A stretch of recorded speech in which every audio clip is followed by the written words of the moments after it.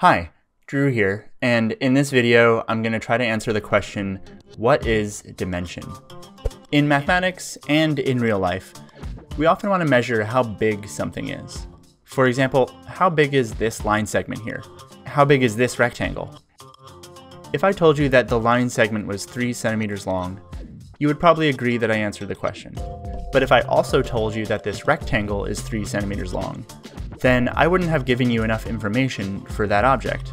That's because while the line segment is one-dimensional, the rectangle is two-dimensional, meaning we need two measurements to specify its size.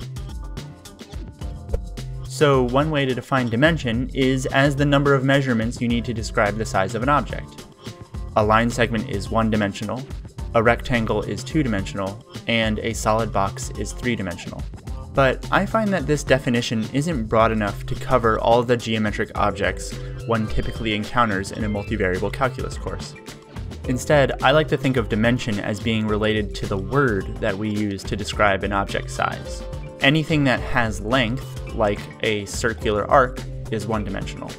Anything that has area, like a cylindrical tube, for example, is two-dimensional. And anything that has volume, like a solid cone, is three-dimensional. Now, this isn't just for mathematical objects like lines and rectangles. The things you interact with in your daily lives also have dimension. For instance, it makes sense to say that the laces on your shoes are one-dimensional, since the way that we measure their size is by their length. The computer or phone or TV screen on which you're watching this video right now can be thought of as a two-dimensional object, and the water in the glass that I poured myself before I recorded this video is three-dimensional. Okay, so I should note that technically, all three of those things are three-dimensional objects. I mean, your shoelaces aren't perfectly thin and one-dimensional. They're a couple millimeters thick, and so they have volume.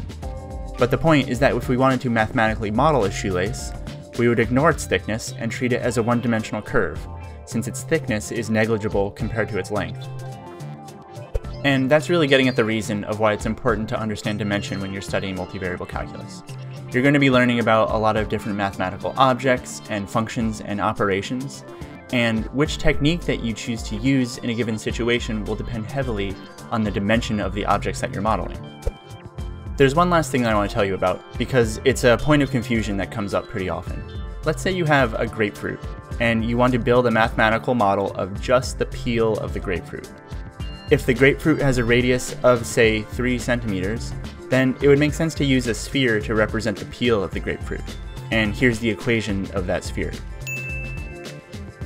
Okay, quiz time. Is this sphere two or three dimensional?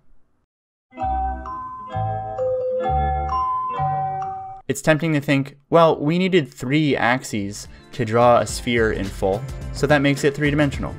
But remember that the dimension of something isn't really how many axes you needed to draw it, it's related to how we measure its size. The peel of this grapefruit has negligible thickness compared to its surface area, so it would make sense to say that this is two-dimensional.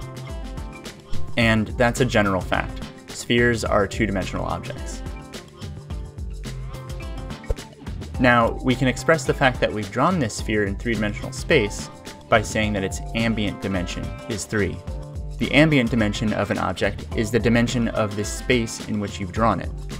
So we can summarize this picture here by saying that the sphere is a two-dimensional object with an ambient dimension of 3. Or sometimes we might even say that this sphere lives in three-dimensional space. And by the way, the line segment and rectangle from the beginning of the video both had an ambient dimension of 2, since I implicitly drew both of them on a two-dimensional plane. Okay, that's all for this video, but here's a summary.